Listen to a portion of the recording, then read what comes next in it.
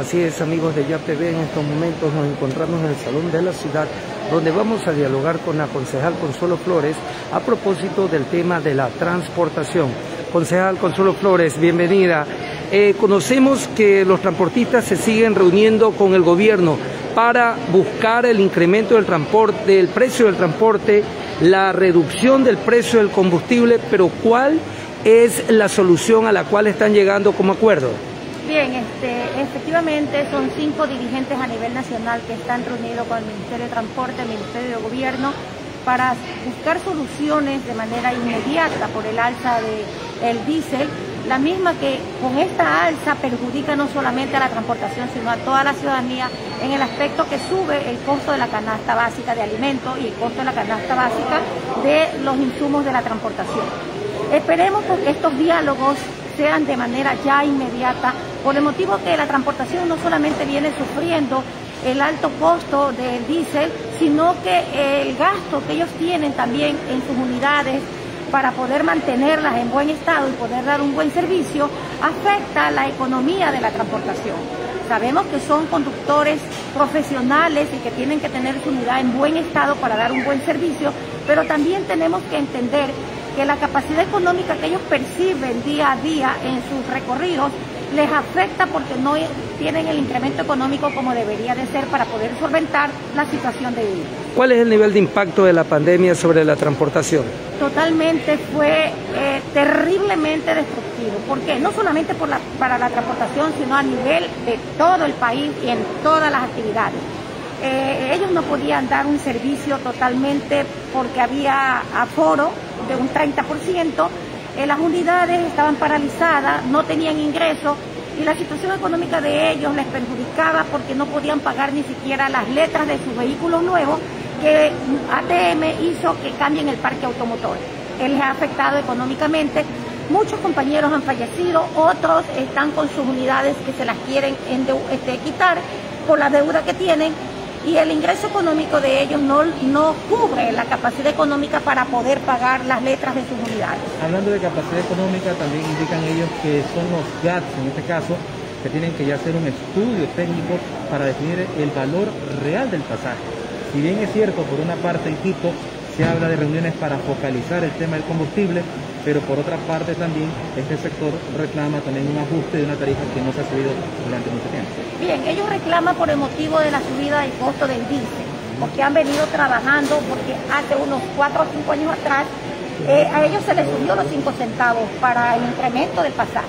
Nosotros tenemos que pensar que no solamente eh, el problema es la transportación, también tenemos que pensar en la economía de los ciudadanos, porque el ciudadano también al subir el pasaje se le afecta económicamente en su bolsillo, ya que si comienza a incentivarse las clases presenciales, entonces ellos también van a incrementar ya su ingreso económico. Tenemos que buscar una mesa técnica entre todas las personas participantes, como es la transportación, como son las autoridades, eh, para ver cómo vamos a llegar. También tiene que intervenir la ciudadanía porque no podemos afectar y ayudarlos a uno y perjudicar a otros. Nosotros como autoridades buscamos el equilibrio y viendo el beneficio tanto para el uno como para el otro. Hablando de esto y el ciudadano también pide mejoras en el servicio, unidades que estén en buen mantenimiento, en buen estado, lo mismo lo que se refiere a la emanación del producto mismo de la combustión que genera impacto en el ambiente y aparte de eso la atención y capacitación de los choferes. Es decir, un proceso integral para que vaya acompañado de ese mejoramiento del trato al usuario,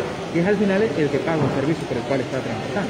Así es, por eso le dije que tenemos que hacer una reunión, una mesa técnica en la cual se le va a poner los parámetros también a la transportación y saber que ellos, bueno, sí están cambiando su parque automotor con unidades eléctricas climatizadas y sabemos que una unidad este, eléctrica climatizada no deja de costar menos de 400 mil dólares.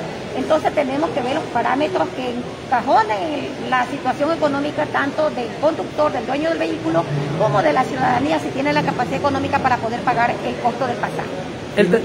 ¿El, taxismo va a subir eh, el precio de los pasajes? Definitivamente, recordemos que el taxismo también no solamente utiliza eh, la gasolina eco, sino que también utiliza el gas, el GLP.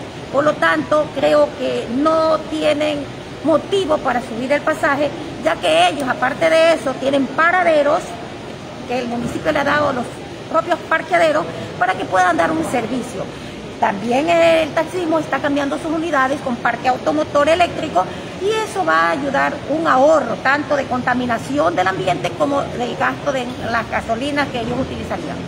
En el tema final... Perfecto, estimados amigos, nos encontramos aquí insistimos desde el Salón de la Ciudad en el municipio de Guayaquil. Hemos dialogado con Consuelo Flores, ella es concejal de la ciudad y dirigente de los taxistas. Les recordamos, hemos llegado a ustedes gracias al 21 piso Yapi Inmobiliario CC, especialistas en la compra, venta y alquiler de sus bienes, especialistas con licencia profesional. Fundación Internacional Doctor Arturo Espín Ordóñez, Aprende inglés junto a nosotros, niños, adolescentes y adultos. Becas gratuitas, acceda a nuestras páginas en Facebook. Encuéntrenos como Fundación Internacional Doctor Arturo Espín Ordóñez. Finalmente, finalmente, recuerde su salud mental es importante, hágalo.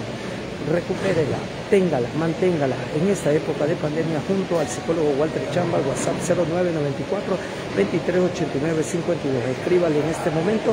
Recuerde, las consultas son totalmente virtuales comparta, dele like y opine.